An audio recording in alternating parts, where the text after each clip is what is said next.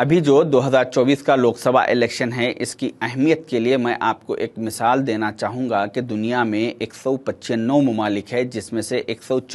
ममालिक के मुसलमानों पर सिर्फ़ चार फ़रज़ है। यानी जब आज इंसान कलमा पढ़ के इस्लाम में दाखिल हो जाता है तो उसके बाद उसके ऊपर सिर्फ़ चार फ़रज़ रहते नमाज़, रोज़ा, हज और ज़क़़त। मगर दुनिया में एक हिंदुस्तान एक वाद मुल्क है, जहाँ के मुसलमानों पर पाँच फ़रज़ है, नमाज़, रोज़ा, हज ज़क़़त और वोट। वोट भी एक हमारे लिए एक अहम फरीज़ा है। अगर हम वोट के फरीज़े को अदा नहीं करेंगे तो आप फिर याद रखिए कि हम नमाज़ जैसे फरीज़े को अदा करने के लिए हमारी मस्जिदें सेफ़ रहेगी और ना ही तो हम रोज़े जैसे फरीज़े को अदा कर सकेंगे और ना ही तो हम हज जैसे फरीज़े के सफ़र पर जाने के लिए हमें कोई सहूलत मुहैया होगी और ना ही तो हम ज़क़़त जैसे फरीज़े को अदा करने के काबिल बचेंगे। तो इसीलिए हमें चाहिए कि पाँचवा फरीज़ा, यानी वोट का हक ज़रूर अदा करें। पाँचवा फरीदा अगर हम अदा करेंगे तो हम बाकी चार फरीज़ों पर अमल कर कर सकेंगे, वरना बहुत मुश्किल हो जाएगा। अगर आपके पास जब भी पोलिंग है, जिस दिन भी पोलिंग है, इलेक्शन है, उस दिन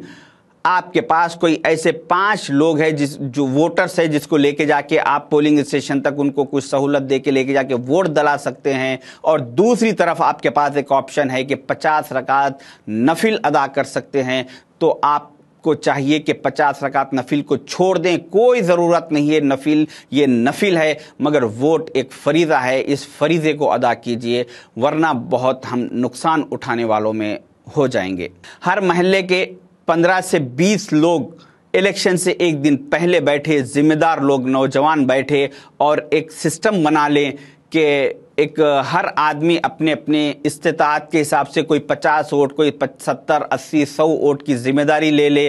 के एक लिस्ट बना लीजिए कि आपका नाम के साथ आपके घर के कितने वोट्स है फिर पड़ोसियों का इनका नाम और उनके घर के सात वोट, उनके आठ वोट, ऐसा एक पचास, सौ वोट की एक लिस्ट बना ले। बना लेके आप लोग इलेक्शन के दिन लोगों के घरों पर जाइए, उनसे आज़ादी कीजिए इनकसारी कीजिए और कहिए कि आप चलिए, हम आपके लिए क्या सहूलत हो सकती है, हम मुहैया करेंगे, आप चलिए, अपना वोट का हक इस्तेमाल करिए। मगर जब आप किसी के घर पर जाएँगे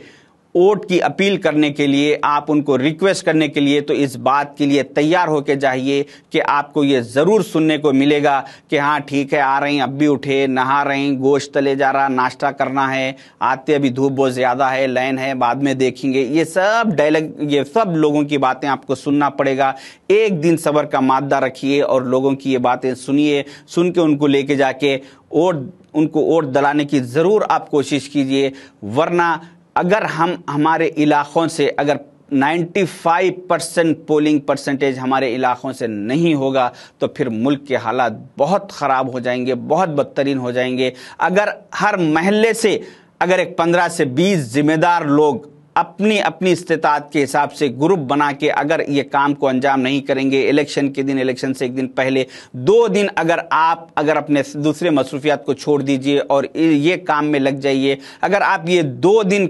मेहनत नहीं करेंगे तो फिर याद रखिए, आपकी आने वाली कई नस्लें कोई काम करने के काबिल नहीं रहेगी। इसीलिए आपको चाहिए कि इन, ये दो दिनों को अहमियत दे, इलेक्शन के दिन और उससे दो दिन पहले सब प्लान करे, करके जो है सो आप वोट का परसेंटेज बढ़ाने की कोशिश करिए। और अभी ये वक्त नहीं रहा कि हम जो है सो ये सोचें कि अरे वो कांग्रेस का कैंडिडेट, इंडिया अलायंस का कैंडिडेट हमारे पास आया नहीं, मिला नहीं, पूछा नहीं, हमारे को बिरयानी के लिए पैसे नहीं दिया, फलां फलां, ये सब सोचने का वक्त नहीं है। अगर कोई आपके पास आए या ना आए, मगर आप अपने हिसाब से, अपने अपने महलों में आप एक जिम्मेदार शहरी होने के नाते आप ये काम कीजिए, लोगों को तैयार करके आप जैसे वोट दलाने की कोशिश कीजिए। और अभी अभी ये वक्त भी बाकी नहीं रहा कि हम ये सोचें कि अरे फलाना B R S T R S का कैंडिडेट या इंडिया अलायंस से जो भी बाहर रीजनल पार्टी से, अरे ये पार्टीज़ के एमएलए साहब हमारी खबरस्तान की दीवार को पैसे दिए थे, मस्जिद को चुन्ना दलाने के लिए पैसे दिए थे,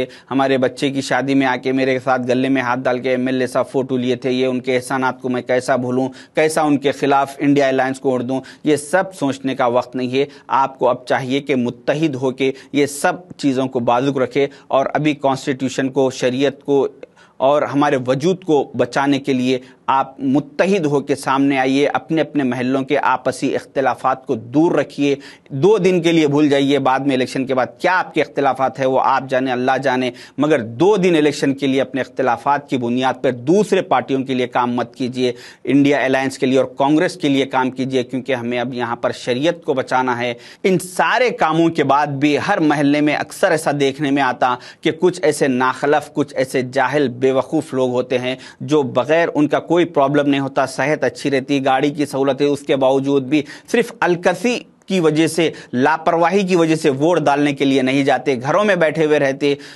तो ऐसे लोगों के लिए महल्ले के जिम्मेदार लोग इलेक्शन के बाद बैठे और बैठ के इन वोटर लिस्ट में से इन लोगों का नाम निकलवा दीजिए। निकाल के इन लोगों को अगर आपके महलों में कोई जानवरों की लिस्ट है तो उस लिस्ट में इन लोगों का नाम ऐड करवा दीजिए, क्योंकि ये इंसान नुमा जानवर है। इन लोगों को किसी की ना खुद की परवाह है, ना किसी दूसरों की, ना अपने मुल्क की परवाह नहीं है। तो ऐसे लोग, वोटर लिस्ट लिस्ट में रहने के काबिल नहीं है, बल्कि जानवरों की लिस्ट में रहने के काबिल है। अभी जो इंडिया का, इंडिया अलायंस का और एनडीए का जो हिसाब चल रहा है, अभी बीजेपी और कांग्रेस का दोनों एक बराबरी लेवल पे चल रहे हैं फिफ्टी फिफ्टी पर चल रहे हैं। अगर इस मौके पर हम सही तरीके से हमारा अगर पोलिंग परसेंटेज बढ़ाएँगे, हमारा अक्सर मुस्लिम इलाकों में thirty thirty five percent polling होता। अगर हम इसको नाइन्टी फाइव तक लेके जाएँगे तो हम बराबर जो है सो कामयाब होंगे हम एक ालिम हुक्मरानों को ख़त्म करने में हम बहुत अहम रोल हमारा रहेगा। सिर्फ़ हमारे लिए इतना चाहिए, हम इतना जुल्म व ज़्यादती देख रहे हैं, मगर हम फिर भी गफलत में बैठे हुए हैं। अगर आपके महलों से, अगर आप अपनी ज़िम्मेदारी निभाते हुए, अगर पोलिंग परसेंटेज आपके पोलिंग बूथ पर अगर 95 परसेंट नाइन्टी टू 95 परसेंट करते हैं तो मैं आप को ये